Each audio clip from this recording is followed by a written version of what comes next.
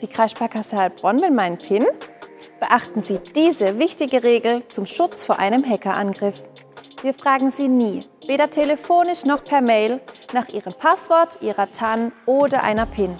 Sollten Sie sich unsicher sein, ob die vermeintliche Nachricht von uns ist, wenden Sie sich bitte an unser Kundencenter. Sie erreichen uns telefonisch oder über die Chatfunktion. Sie möchten wissen, wie Sie Ihre Karte sperren lassen? Dann schauen Sie hierfür folgendes Video.